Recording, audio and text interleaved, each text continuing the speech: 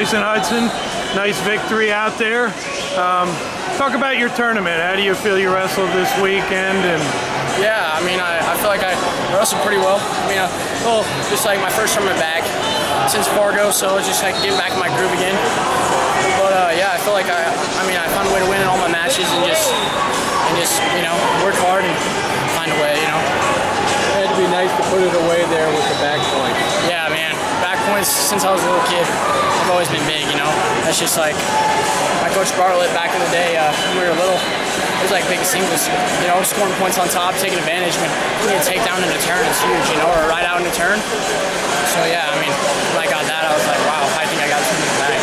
Seems like Idaho likes this tournament. Brings a big crew. Do you like being here preseason national? Yeah, I love it. I mean, I just love to compete, and uh, I'm grateful to compete always. I'm thankful my parents give me the opportunity to always compete.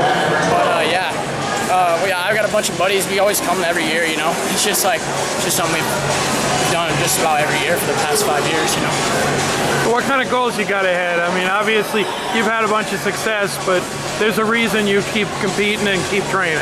Uh, yeah, yeah. So I'm going to Oregon State. Uh, I'm, I have not decided. I think I might serve in an LDS mission for two years, or I might go there next year. I haven't made my decision yet, but uh, no matter what, I'm going to Oregon State. And uh, yeah, just like my goal my whole life's been an NCAA champ, you know. So only way to do that is just continue to keep getting better and training and and yeah, so that's why I feel like every tournament I, I go to, I always have a goal, obviously, to win it and dominate. So.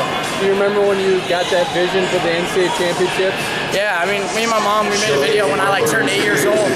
My goal was to come home off a mission, LDS mission, and go win an NCAA title for Penn State. My dream was always to wrestle for Penn State.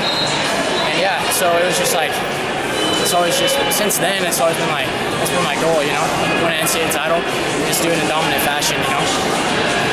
So, um, how, how, do you make the decision on when to take your mission? You, is it something you would do with your family or with your coaches? Yeah, yeah, yeah. So I feel like it all goes into my coaches, my family, my brother. My brother just got home from a mission in Tucson, Arizona, uh-huh. and uh, I mean, none of this would even be possible without God, you know. Right. And I feel like that's just two years that I can set away, you know, to to just serve the Lord and, and the people they might need me and the gospel in their life. So a big part of that is is from my brother and my, my uncles. But uh, yeah, big decision is, comes also from my Oregon State coaches giving me the opportunity if I want to take it. So yeah. It. job.